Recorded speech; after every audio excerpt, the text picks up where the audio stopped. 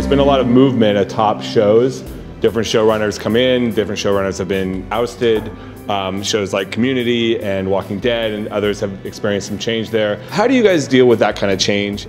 Let you know after they fire us. I know, right? I was saying So- I don't so have far. much experience in that area. I don't. I haven't really been a part of a show where there's been sort of a that's ever happened. So I mean, I do find that, that with us, the continuity of, of having the same people at the beginning through to the, you know, the further stages of the process, the machine as a whole refines itself each successive season. And I would imagine that starting over can shake things up and introduce fresh blood, but it can also, it, it's starting over. Depends on what kind of show it is. The idea of anyone other than you doing Mad Men seems ludicrous. Yet on AMC, they've I don't know, gone they, through. they've ca- they called you, right? no, he, he was the- great. the They, they, always, they, they threaten a lot. I don't know I was going to to say they must threaten because on I mean on Walking with Dead they've had, they've had three guys do that now, and the show has still has great reviews. The ratings are better than ever. So Well, we don't know. We don't know. Um, and I would say that it's very hard to be that, you know, when they were threatening to get rid of me during, uh, it was always like, you know, I knew someone would take that job. Uh, there's no doubt in my mind. I would not want that job, but I knew someone would take that job.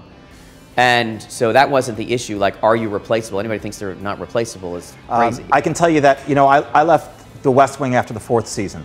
Uh, I got a call from Larry David, who had left Seinfeld before Seinfeld was over.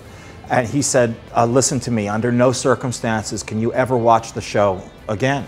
Uh, either it's going to be great and you're going to be miserable, or it's going to be less than great and, and you're going to be miserable. But either way, you're going to be miserable.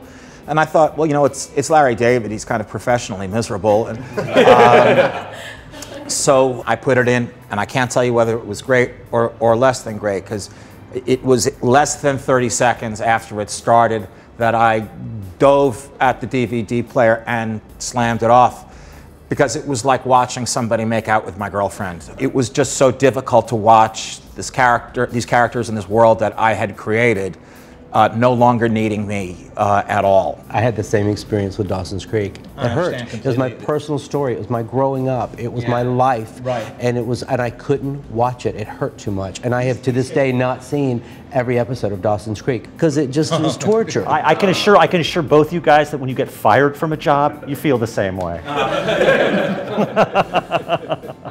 you just don't watch it after you go after, after you're let go. Thanks a lot, guys. Appreciate it.